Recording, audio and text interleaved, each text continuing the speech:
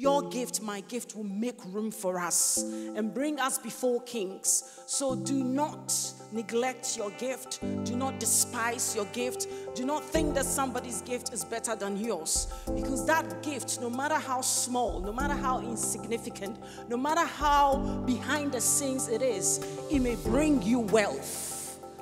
That gift would cause you to bring glory to Almighty God. Number two, God is the source and giver of all gifts, talents, and abilities.